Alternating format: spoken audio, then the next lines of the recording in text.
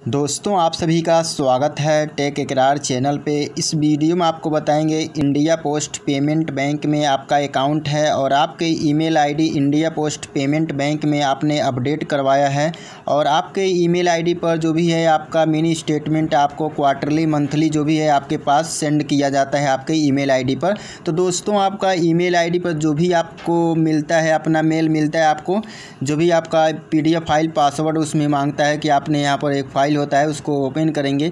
तो जैसे ओपन करते हैं तो आपके सामने कुछ पासवर्ड डालने का ऑप्शन आता है। तो आपको वहाँ पर पासवर्ड क्या डालना है तो इस वीडियो में आपको पूरा जानकारी देंगे। वीडियो आपको पसंद आए तो लाइक शेयर सब्सक्राइब ज़रूर कीजिएगा।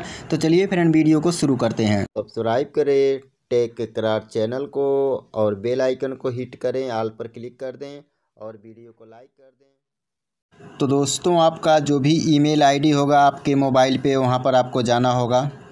तो अपने जो भी ईमेल आईडी है, उसमें जाना होगा आपको और वहाँ पर जो भी आपके पास मेल आया होगा, यहाँ पर आपको देखना होगा। तो हम यहाँ पर जाएँगे और अपना जो भी मेल है, यहाँ पर देखेंगे। तो हमारे पास यहाँ पर देख सकते हैं कि इंडिया पोस्ट पेमेंट बैंक के तरफ़ से हमारे पास एक मेल आया हुआ है। तो आपको यहाँ पर हम दिखा दें कि आप देख सकते हैं इंडिया पोस्ट पेमेंट बैंक के तरफ़ से ऐसे ही कुछ ईमेल आता है। और आपका जो अकाउंट होता है अकाउंट का जो है, तीन अंकों का आपका दिखाता है।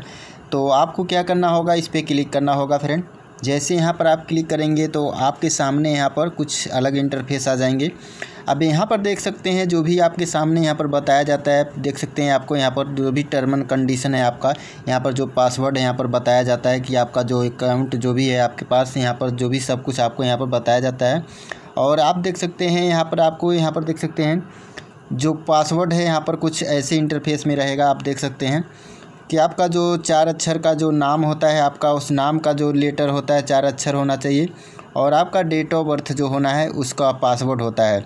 तो आपको यहाँ पर स्लाइड ऊपर करेंगे तो आपके सामने यहाँ पर देख सकते हैं कि आपको एक पीडीएफ फ़ाइल आ चुका है। इस पर आपको क्लिक करना होगा डाउनलोड वाले पर। तो जैसे यहाँ पर डाउनलोड वाले पर क्लिक करेंगे तो ये पीडीएफ फ़ाइल डाउनलोड हो चुका है। अब यहाँ पर बोल रहा है कि आपका जो भी है, अपना पासवर्ड यहाँ पर डालने को बोल रहा है। यहाँ प्लीज़ इंटर पासवर्ड तो क्या करना होगा आपको? पासवर्ड में क्या डालना होगा? आप यहाँ पर देख सकते हैं कि जो हमारा, जो आपका भी, कोई भी नाम आपका होगा अब अपना नाम ही अपना डाल दीजिएगा, चार अक्षर का जो भी आपने यहाँ पर एंटर कीजिएगा। तो हमारा जो नाम है यहाँ पर एंटर कर देंगे। अब जो मंथ है, यहाँ पर करेंगे मंथ जो तारीख है, सब कुछ यहाँ पर ले लेंगे। अब लास्ट जो है तो आपका उन्नीस सौ पंचानवे है तो आपको उन्नीस सौ पंचानवे लिखना है। उन्नीस सौ नवासी है तो उन्नीस सौ नवासी लिखना है। ये नहीं कि आपको उन्नीस सौ नवासी पूरा नहीं लिखना होगा, बस उन्नीस सौ नवासी है तो नवासी लिखना होगा। तो हमने यहाँ पर नवासी लिख देंगे। अब यहाँ पर देख सकते हैं फ्रेंड कि ओके आपको क्लिक करना होगा। तो आपके सामने यहाँ पर देख सकते हैं कि आपका जो भी है, यहाँ पर अकाउंट से रिलेटेड जो भी है आपको यहाँ पर सब कुछ आपको यहाँ पर मिल जाएगा। और आपका जो भी यहाँ पर यहाँ पर देख सकते हैं एम आर सी कोड जो भी है, आप यहाँ पर सब कुछ यहाँ पर प्राप्त कर पाएँगे। तो आपको यहाँ पर दिखाई दे रहा होगा अकाउंट नंबर यहाँ पर देख सकते हैं कि आपका कस्टमर आईडी यहाँ पर सब कुछ आपको यहाँ पर दिखाई दे देगा। और आपका कौन से ब्रांच में आपका अकाउंट है कितने बैलेंस है, आपको कितने ट्रांजेक्शन किए हैं, सब कुछ आपको यहाँ पर पूरी समरी आपको अकाउंट समरी आप देख सकते हैं यहाँ पर। कि आपको यहाँ पर लिखा हुआ है अकाउंट समरी तो इस पर आपको देख सकते हैं यहाँ पर सब कुछ आपका पूरा डिटेल यहाँ पर दिखा रहा है। तो ऐसे ही अपना इंडिया पोस्ट पेमेंट बैंक का मिनी स्टेटमेंट आता है तो आप ओपन कर पाएँगे इजीली तो दोस्तों, आपको ये वीडियो अच्छा लगा हो तो लाइक शेयर सब्सक्राइब ज़रूर कीजिएगा।